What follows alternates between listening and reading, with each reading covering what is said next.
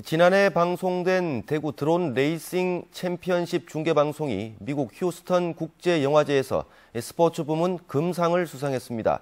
이색적인 방송으로 많은 관심을 모았던 드론 레이싱 중계는 올해도 이어질 예정인데요.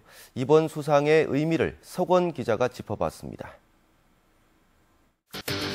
이색적이고 박진감 넘치는 레이싱의 묘미.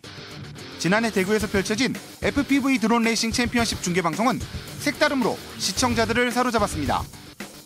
이번이 정말 최초입니다. 예. 네, 지상파에서 이런 그 경기를 중계한다는 것은 뭐 전무후무한 일이었던 거고요. 예. 이번이 아주 획기적으로 첫 방송이 너무 좋은 것 같습니다. 자 이번엔 무대에 이 대구 MBC의 드론 레이싱 중계 방송이 지난 16일 미국에서 열린 제49회 휴스턴 국제영화제에서 스포츠 부문 금상을 수상했습니다.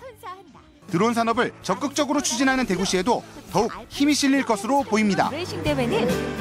대구가 R&D 면이나 지리적 조건이나 그리고 또 한편으로는 협력 기관들 간의 협업의 문제에 있어서나 대구가 드론의 메카라고 할 수 있는 최상의 지역이다 이렇게 생각하고 있습니다. 자, 지금 이제 지난해에 이어 올해 9월에도 대구 드론 페스타가 예정된 가운데 드론 레이싱 챔피언십은 국제 대회로 업그레이드돼 중계 방송에 대한 기대감도 커지고 있습니다.